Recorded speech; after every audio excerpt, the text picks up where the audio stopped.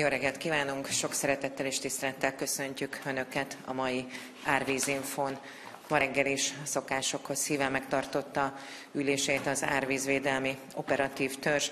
Tisztelettel kérem miniszterelnök urat, hogy az elmúlt 24 óra legfontosabb eseményeit ismertesse. Jó napot kívánok mindenkinek! A védekezés 9. napjában vagyunk. Most már eh, úgy vagyunk, mint a katonaságnál, tehát túljutottunk a felén, most már vágjuk a centit. Úgy számolunk, hogy még öt nap van hátra a kiemelt és erőfeszítéseket igénylő védelmi napokból. Vannak reményeink, hogy talán hamarabb is levonul az ár, de számoljuk nyugodtan úgy, ahogy korábban is tettük. Tehát még öt nehéz napot kell átvészelnünk és kibírnunk ahhoz, hogy az ország fellélegezhessen.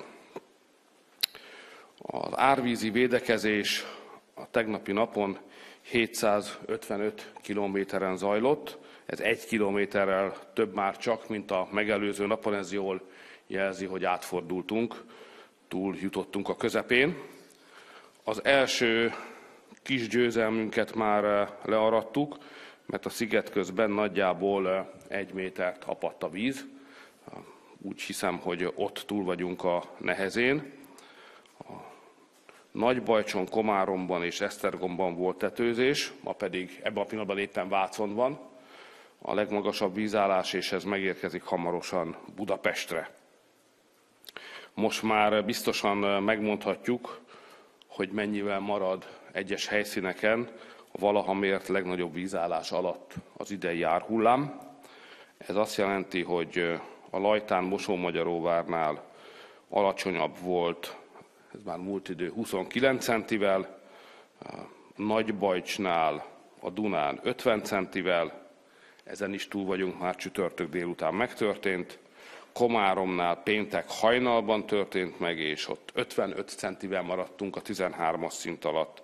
Esztergomban 61 centiméterrel, Vácnál 55-tel, és Budapesten pedig úgy néz ki, délutánra persze pontos számot tudunk, úgy néz ki, hogy 59 centiméterre maradunk 13 alatt. Tehát az a diagnózis, a helyzetértékelés elemzése a vízügynek, hogy olyan kihívással állunk szembe, amelyet ismerünk, és olyan vízszintet kell elhárítanunk, amelyet korábban már elhárítottunk, ez megállta a helyét. Ez látszik is a védekezés higgadt és nyugodt tempóján. A rakpart felszabadulása jövő hét elején várható, egy vagy két nappal korábban, mint korábban reméltük. A árvízi védekezésben résztvevők száma is eh, változott. A vízügyből azért még eh, a tegnapi 1515 emberhez képest további 100 eh, főt, egész pontosan 170 főt mozgósítottunk.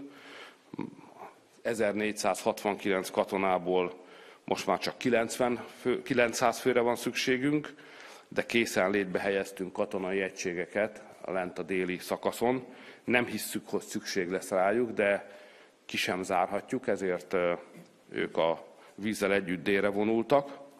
Polgárőröknek a száma nőtt meg, 317-ről 574 fő vett részt a védekezésben. Az azt jelenti, hogy tegnap, védeke, tegnap előtt védekeztünk 6149 emberrel, és tegnap pedig már csak 5344-jel, vagyis 805 fővel kevesebben.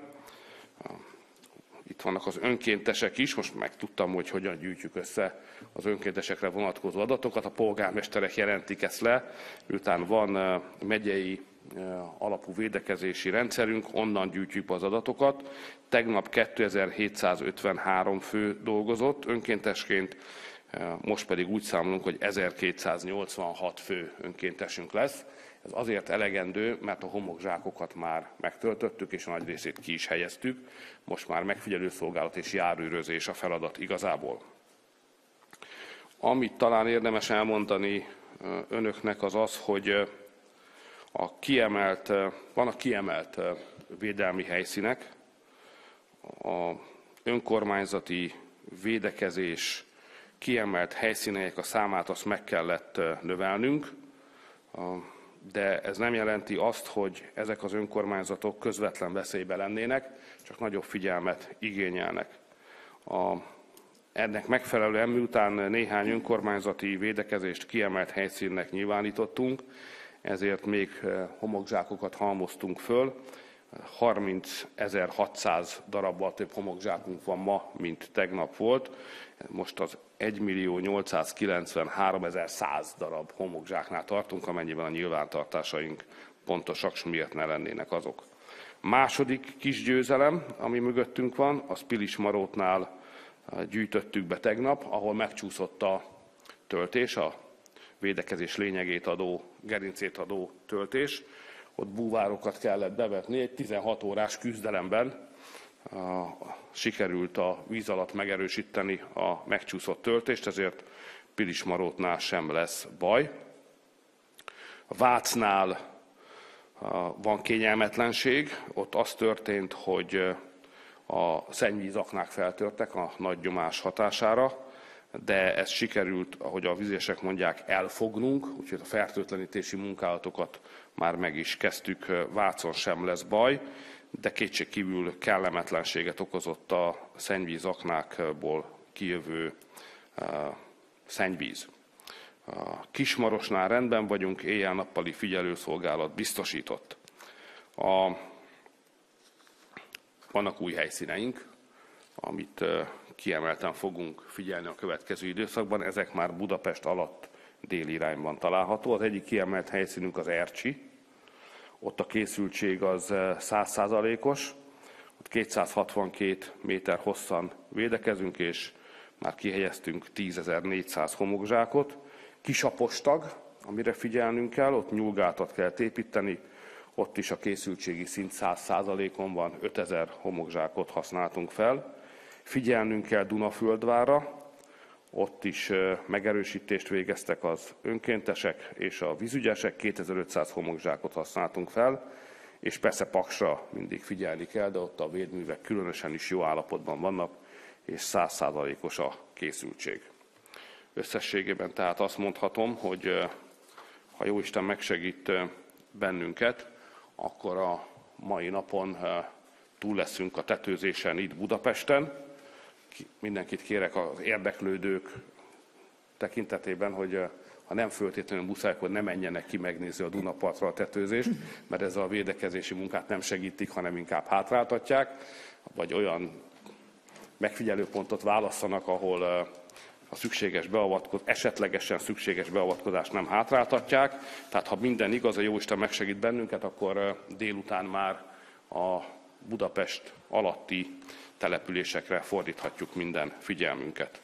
Továbbra is azt kértem a mai operatív törzsön a vezetőktől, holnap is tartunk operatív törzsülést, hogy ne engedjék a alkalmazottak, dolgozók, beosztottak figyelmét lankadni, mert ilyenkor a levonuló árvíz utáni időszakban történik a legtöbb áttörés, baleset, átázás, tehát könnyen előfordulhat, hogy egy-két nap léhaság, vagy lazaság, vagy lustaság tönkreteszi az eddigi véde, eredményes védekezés munkáját. Ezért a vezetőktől azt kértem, hogy mutassanak példát, szombaton, vasárnap is mindenki legyen a helyén, hogy a bevetésben lévő emberek is érezzék, hogy nem lankadhat a figyelem egész addig, amíg a főigazgató úr azt nem mondja nekünk majd jövő hét közepén csütörtökön, hogy túl vagyunk 2024 nagy Dunai árvizén is. Ha van kérdésük, szívesen állok a rendelkezésükre. Köszönjük szépen, miniszterelnök úr. Akkor áttérünk a kérdésekre. Köztévé.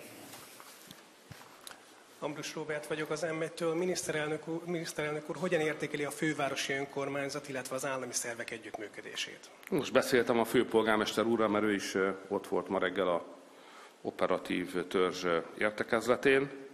Én úgy látom, hogy Jelentem, ő is jó állapotban van, és úgy látom, hogy a budapesti védekezés is jó állapotban van, az együttműködés is rendben van, nem azonosítottunk egyetlen olyan pontot sem, ahol nehézség adódott volna, tehát a budapesti és az állami védekezés összehangoltan működik.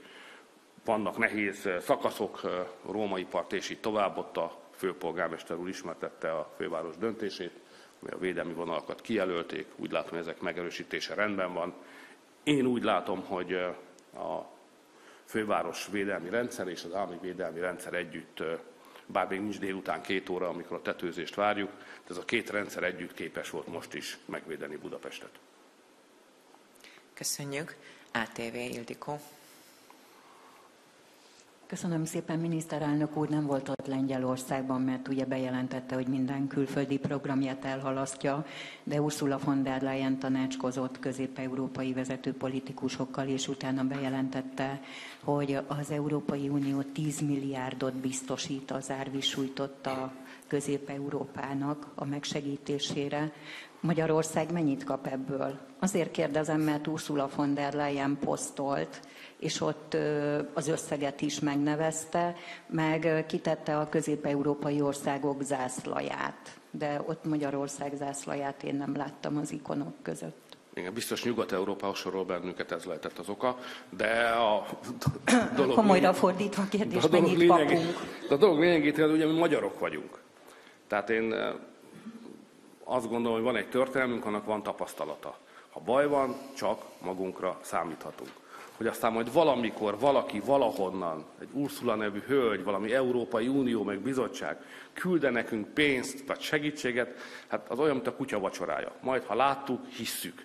Nekünk egyetlen dolgunk van, hogyha baj van, magunkra számítsunk és oldjuk meg a feladatokat és szembesüljünk a kihívásokkal. Most ez, a, ez történt, elhárítom. Úgy látom, hogy sikerül, várjuk meg azért ezt a néhány napot.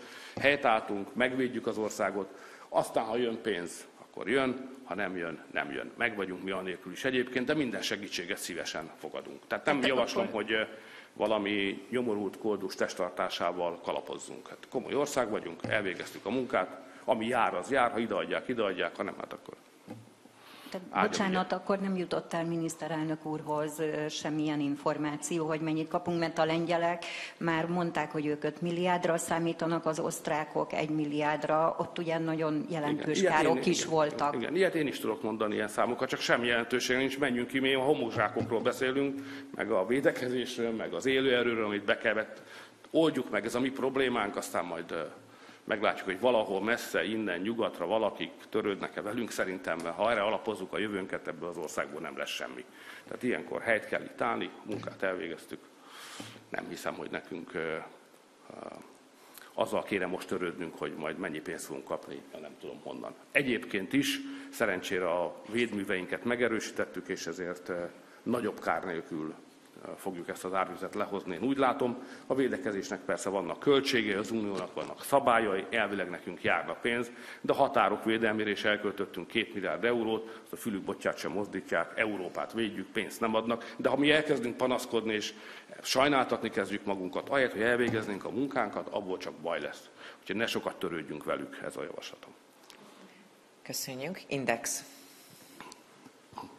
Szabó Gyula Indextől, és akkor az első kérdésünk az az lenne, hogy tegnap említette, hogy csütörtökön zárulhat a küzdelem. Az önmércése szerint mi számít győzelemnek? Illetve ehhez kapcsolódik az is, hogy a szomszédos országok, illetve a régiós országokhoz képest Magyarország hogyan teljesít a árvízvédelemben. Várjuk meg a végleges értékeléssel a árvíz végét. Én azt tartom győzelemnek, amikor a hagyományosan veszélyeztetett szakaszon már nem csak levonult az árhullám, hanem az árhullám utáni veszélyes szakaszon is túljutunk. Ugye a mi veszélyes szakaszunk az Budapest és Budapesttől északra lévő területek. Amikor az árvíz innen lement, és az árvíz utáni két-három napon is túl vagyunk, és a lassú apadás már azzal biztat bennünket, hogy nagyobb baleset nem történhet, akkor megkönnyebbülhetünk.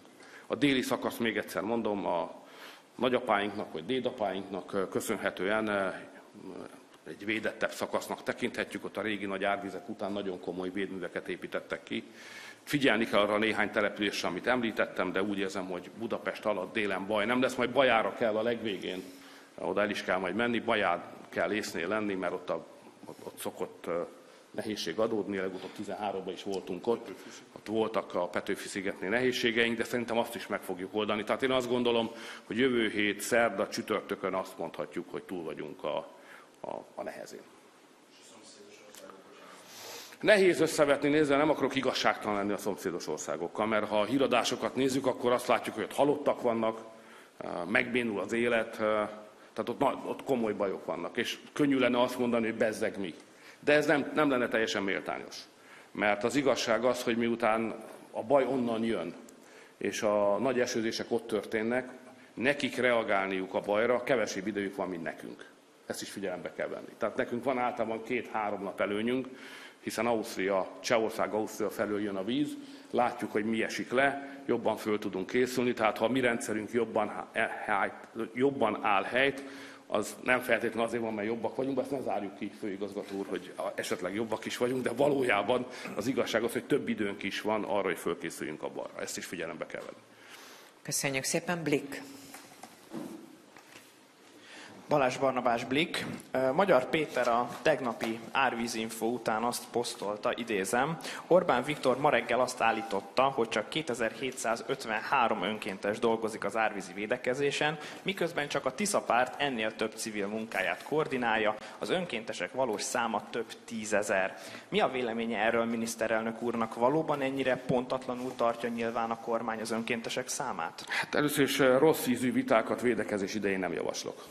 Tehát a vita helyett összpontosítsunk, összpontosítsunk a munkára. Minél több az önkéntes, annál jobb.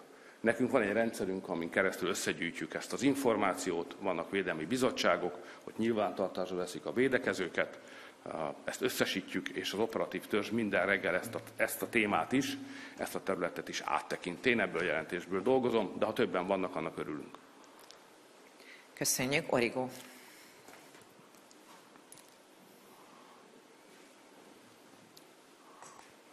Jó napot, jó reggelt kívánok, Kovács András Oligó. Miniszterelnök úr említette, hogy a déli szakaszon bajánál kell még számítani nagyobb védekezésre. Annak az ideje mikor jöhet el körülbelül? Az akkor olyan csütörtök péntek magasságában lehet? Én csütörtökre számítottam, a főigazgató úr szerint lehet, hogy már szerdán. Bajos hétfőn lesz, utána a védekezés tetőpontja hétfőn. Védekezés tetőpontja Baján hétfőn lesz, mondja a főigazgató úr, a veszélyes szakaszon pedig nagyjából szerdán csütörtökön leszünk túl.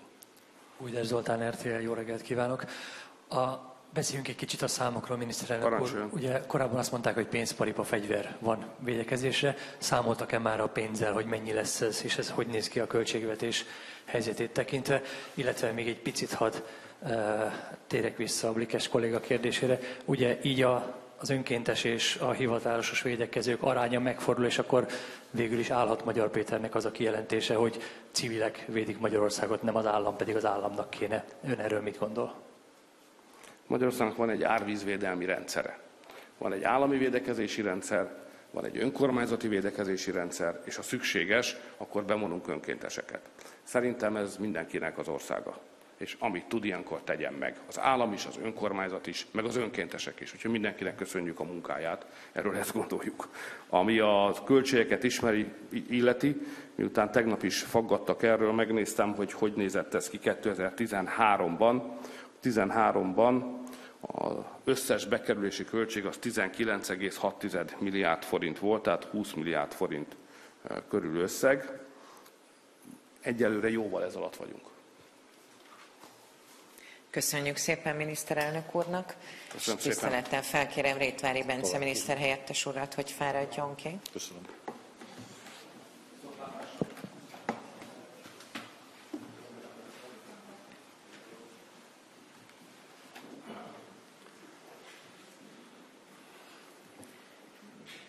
És felkérem Rétvári Bence miniszter helyettes urat, hogy a BM és intézményeiről számoljon be az elmúlt 24 óra tekintetében.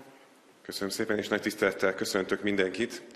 Engedjék meg, hogy pár eh, dolgot elmondjak. Továbbra is működik az ingyenesen hívható zöld szám, az árvízvonal, a 0682 Elmondhatjuk, az első nap is több mint 400 hívás érkezett, a második nap is eh, több száz hívás érkezett, tehát ez is tudja segíteni az árvíz elleni védekezést és a jobb koordinációt. A rendőrség is természetesen részt vesz az árvíz elleni védekezésben. Egyrésztről a rendőrségi drónokat is be tudjuk vetni arra, hogy a víznek a terjedését folyamatosan figyeljük és kövessük, úgyhogy erre is van képessége a magyar rendőrségnek. Vannak olyan részek, amelyek nem közelíthetők meg könnyen, sem gyalog, sem valamilyen autóval, még terepjáróval sem. Éppen ezért a rendőrségnek a lovas rendőre is bevetésre kerültek, akár a Margit-szigeten, akár máshol képesek arra, hogy olyan részeket bejárjanak, amit egyébként nehezebb bejárni, úgyhogy a lovas rendőrök is segítséget nyújtanak. 14 hajója van a rendőrségnek, amelyik készenlétben áll, pontosan azért, hogy bármikor tudjanak indulni. A helikopterek is készültségben vannak, hat erősített teherautója, két unimogja is, ez egy terepjáró képességű jármű, szintén rendelkezésre áll a rendőrségnek, illetve a Dunai vízirendészetnek. Ez is, ez is fontos, és ezzel is segítjük a védekezést. Ahogy azt már korábban is elmondtam, a rendőrök nem csak a gáton tudnak segítséget nyújtani, hanem akár lezárásokban, biztosításban, akár különböző helyszíneknek, helyszíneken a vagyonmegóvásban részt vesznek, ahol kiköltöztek a lakók, vagy ahol az áramszolgáltatás szünetel, ott visszatérően, sűrűbben visszatérően járnak a rendőrjárőrök, pontosan azért, hogy meg tudják védeni az embereknek a vagyontárgyait is. El kell mondanunk, hogy mind a rendőr tanulók közül, mind a Nemzeti Közszolgálati, Egyetem tisztjelöltjei közül többen is eh, vagy már voltak, vagy továbbra is készenlétben állnak a segítségre, akár zárásokra, forgalomirányításra, terelésre, a szakemberek munkájának segítésére. Eh, elsősorban a eh, rendőrök tudnak segítséget nyújtani, úgyhogy ez is olyan, amiben tudunk továbbiakban is a rendőrség részéről a védekezésben közreműködni. Mint az ismert, sajnálatos módon hogy folyamatosan nőtt a halálos áldozatok száma Európában az árvízzel kapcsolatban. Örülünk, hogy Magyarországon ilyen nem történt. Összesen 27 fő volt, aki az áradások miatt az életét vesztette, illetőleg Olaszországban 24-en voltak, akik maga miatt a ciklon miatt veszítették az életüket, ez így már több mint 50 fő összességében, illetve vannak eltűntek, Csehországban eltűntek vannak, és sajnos van olyan áldozat is, aki a mentésben résztvevők közül áldozat, tehát aki a, a, a tűzoltók közül veszítette az életét Közép-Európa szerte. Köszönjük minden szervnek a, a munkáját. Természetesen a katasztrófavédelem továbbra is ott van, és minden olyan erővel segít, ami szükséges a védekezéshez. Ugye a vízügy az, aki pontosan a kapacitásokat kijelöli, hogy hol, mennyi emberre, milyen erőre van szükség. Ez folyamatosan változik, hiszen most már más a feladat, elsősorban a, a megfigyelése a gátaknak, éjjel-nappal. Nyilvánvalóan ez éjjel egy nehezebb feladat, hiszen éjszaka során is folyamatosan kell nézni, hogy bárhol buzgárok feltörnek-e, azt is figyelni kell, hogy a buzgárokból sima víz folyik, vagy pedig hordalékos víz. Abban az esetben, hogyha sima víz jön föl, akkor az egy általánosabb, amikor csak átengedi a vizet a töltés alatt a, nagy nyomás miatt a föld.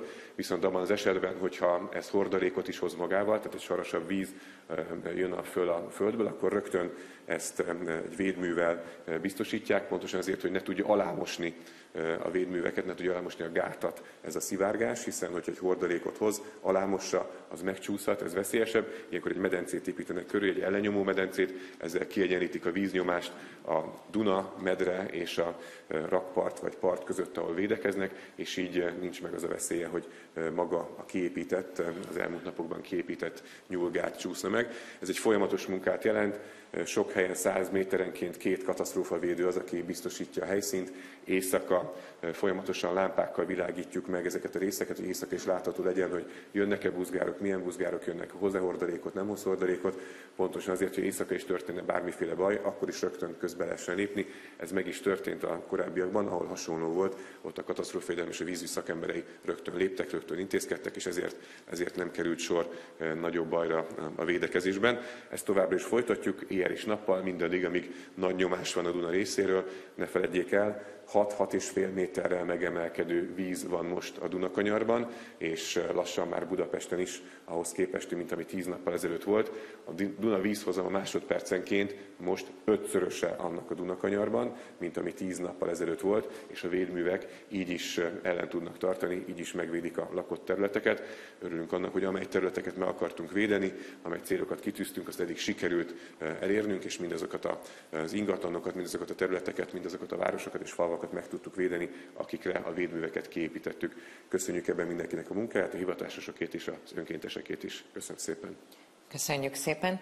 Szeretném megkérdezni Láng főigazgató urat, hogy van-e esetleg mondani valója számunkra? Talán csak egy dolgot szeretném felhívni a figyelmet, hogy egy új feladat fog megjelenni a védekezésben, az ideiglenes védművek visszabontása. Ez az állami védműveken a vízügyi igazgatóságok feladata lesz az önkormányzati védműveknél természetesen a szakmai iránymutatás mellett az önkormányzati védekezés feladatát képezi, és ez még ki fog tartani, és itt egyben hadd kérjem hogyha lehet a lakosság segítségét, mert azért ez jelentősen meg fogja terelni az önkormányzatokat, hogy itt is lehet önkéntes munkát végezni, nagyon is szükség lenne rá, annak érdekében, hogy támogatni tudjuk ezt a helyreállítást, ami a háború utáni kár keletkezett. Köszönöm. Köszönjük szépen. Áttérünk a kérdésekre. Van-e kérdés főigazgató úrhoz, miniszter helyettes úrhoz? Blik. Balázs Barnabás Blik. Orbán Viktor említette az imént, hogy kellemetlenségeket okozott a szennyvíz kitörése Vácon az ön választókerületében. Mit lehet erről tudni? Mi van a hátterében? Esetleg valamilyen infrastruktúrális hiányosság, vagy bármi egyéb? Vannak nyilván olyan problémák, amelyeket előre nem lehet látni, hanem időközben kell kezelni. Én magam is tegnap is többször jártam Vácon a Dunaparton, jártam napközben is, és éjfélkor is jártam, hogy megköszönjem az ott szolgáltató teljesítő éjszakai műszaknak a munkáját. Amikor napközben jártam ott, akkor valóban lehetett érezni azt a jellegzetes szagot, nem extra erősen, de lehetett érezni, hogy a csatornákból való kimosásra kerül, viszont az esti órákban, vagy éjfélkor és hajnal egy óra tájban már ez nem volt annyira érezhető. Azért nem szokványos a védekezés menete, hiszen nem tudom mennyire járatosak Vácon, de ugye kiépült ez az új védmű, ugye 350 ezer homokzsákból 6 zsáknyi szélességben építettük ki közösen ezt a, ezt a védművet. Ez védi is a várost, a Duna vizeit nem tud bejönni. Ugyanakkor nyilván a talaj adottságai miatt a kertekben, illetve a járdáknak a repedéseiben folyamatosan jön be a víz. Tehát nem a Dunából érkező víz, ami így a problémát okozza, hanem hogy azok, akik a saját kertjüket védték a Duna felé oldalon, most megbontották ezeket a védműveket, ezeket a homokzsákokat, hiszen nem a Duna felől érkezik a víz, hanem a kertjük felől egy magas-magasabb rész van. Mivel a másik irányból jön tehát a víz, nem a Dunai oldalról, hanem a szárazföldi oldalról, éppen ezért okozott ilyen kellemetlenségeket, de itt rögtön reagáltak, a, ezért is fontos a figyelőszolgálat, és hogy tényleg ott vannak folyamatosan a katasztrófödelem és a vízügy munkatársai, én is látom őket éjjel-nappal folyamatosan. Tehát mivel, mivel ott voltak, ezért tudtak lépni és meg tudták ezt akadályozni. Máshol, meg akár az esővíz elvezető hasonló, akár kis rácsok, amiket sokszor szoktunk látni az utak szélén, az is problémákat okozhat, mert ami az esővizet elvezeti, az most a talajvizet felvezeti, úgyhogy ezért kell ezekre lépni. De én úgy látom a Dunakanyarban, amely településeken folyamatosan járok, tegnap is jártam, hogy ezeket mind ki tudták küszöbölni, és mondom, estére már sokkal kisebb volt a veszély. Ezért is mondjuk mindenkinek, hogy ha, ha a védművek közelébe megy, akkor fogadja meg a hatóságoknak az utasításait, hiszen nem véletlenül mondják azt, hogy mit kell tenni és mit nem kell tenni. Mi is miután kijöttünk itt a vízből, itt az ember hogy azért vádlig vízben megy, nyilván gumicsizmával, utána készfertőtlenít kaptunk egyebek, mert, mert valóban itt vigyázni kell, úgyhogy mindenki vigyázzon a saját egészségére, és meg főleg vigyázzanak a ott, ott levő szakemberek a saját testi épségükre. Úgyhogy itt gyors reagálásra bízunk benne, hogy sikerült ezt a problémát visszaszorítani. Köszönöm szépen. Köszönjük. ATV. Köszönöm szépen, Csua Ildikó vagyok az ATV-től, és államtitkár úr bejelentette itt miniszterelnök úr tegnap előtt, hogy a vízügyeseknél béremelés lesz 25-26-ban a részletekről nem beszélt, és megjelent egy olyan hír is, hogy a katasztrófa védelemtől a HVG írta meg, 1200 körüli dolgozó átkerül a közigazgatásba, a kormányhivatalokba. Itt víztározókkal kapcsolatos döntésekről engedélyt is kiadnak majd, vízügyesek is kerülnek át. Az ő havi jövedelmük lehet-e majd kevesebb? Vagy alacsonyabb, mint amit a katasztrófa védelemnél kerestek. Járhatnak-e rosszabbul?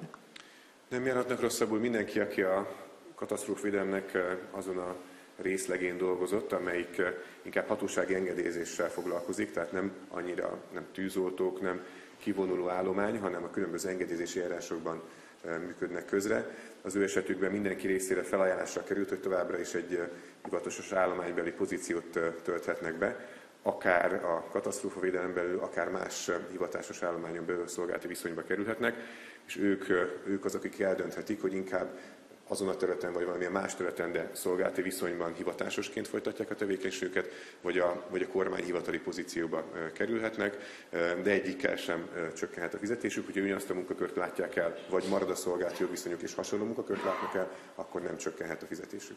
Köszönöm. Köszönjük. M1.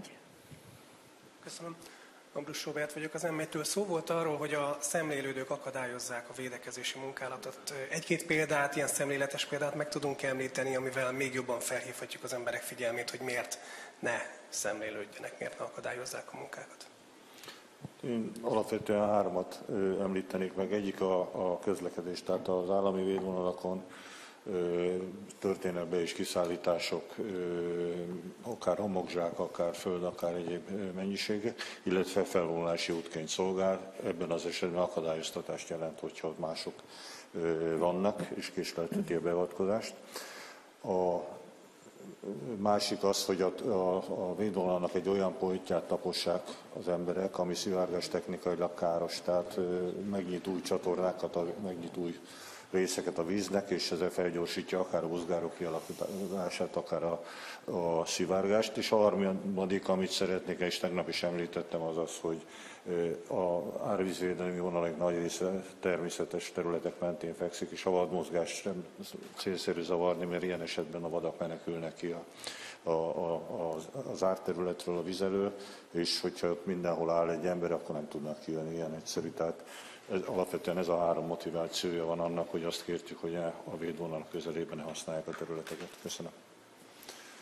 Köszönjük szépen, hogyha nincs több kérdés, akkor további szép napot és jó munkát kívánunk Önöknek. Viszontlátásra. Köszönjük. Viszont.